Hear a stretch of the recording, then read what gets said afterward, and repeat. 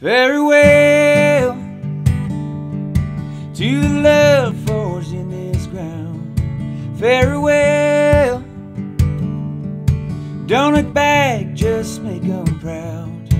No matter where I go, can't let go to the heart of my hometown. Excellent.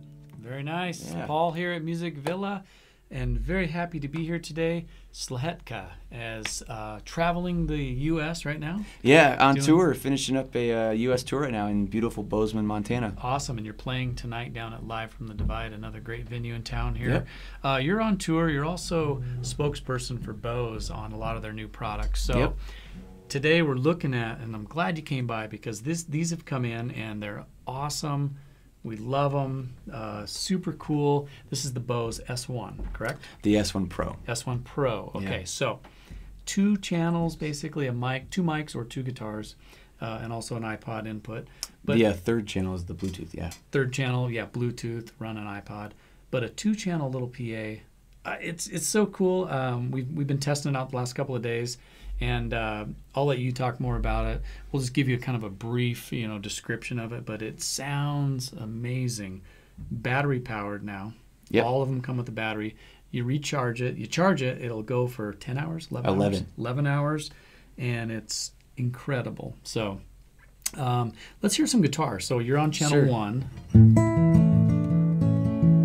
The thing that's really cool about this system is that they've integrated a lot of their other, you know, PA technology. Um, uh, basically, what, what you have here is they took the articulated array idea from the Bose Compact and they took three of the driver speakers from their F1 series. So the, the front of it is basically that articulated array, and then they put those in front of a traditional woofer. So with the L1 units that you get between the compact, the L1 Model S, or the L12, you have a 180 degree sound dispersion ratio, and with the S1 Pro, you get 100 degrees of sound dispersion. So it's it's really great. You can have it in the side of you.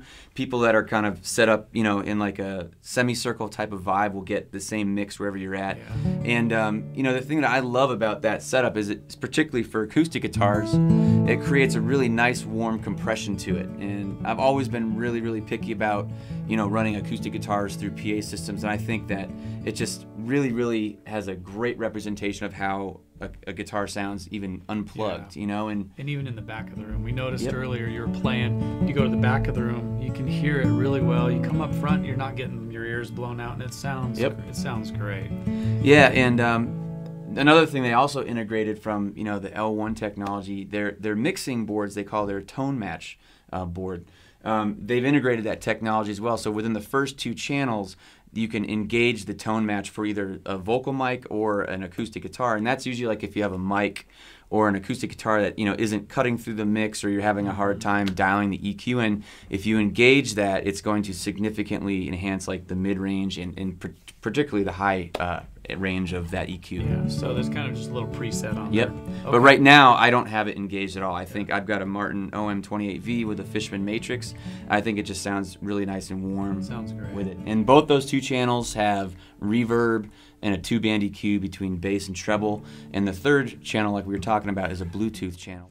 It's got an eighth inch input, so if you are a solo musician that you know uses backing tracks and stuff, you can also use that. Mm-hmm. Um, a lot of people will pick these up too for like home theater, home entertainment it's- situations. So Yeah. if you do karaoke or something like that, um, and you know the Bluetooth, it's just a great option to have for whether you're just using it as a stereo or hooked up to your television Yeah. or computer.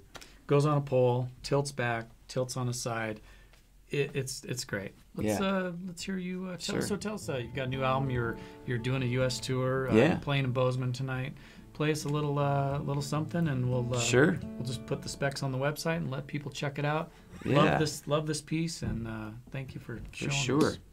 Um, yeah, so I just did an album with Grammy-winning producer David Bianco. Um, you know, he won an al- uh, won a Grammy for doing Tom Petty's Wildflowers record, which is one of my favorite records of all time, and um, it was a life-changing experience working with him. This is a song off that album called "Ready to Run Again."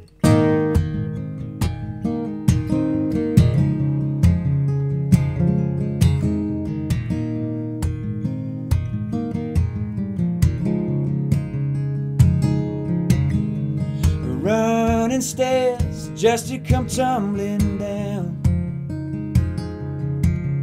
She cries for help without making a sound. And travels far, chasing the dragon's tail.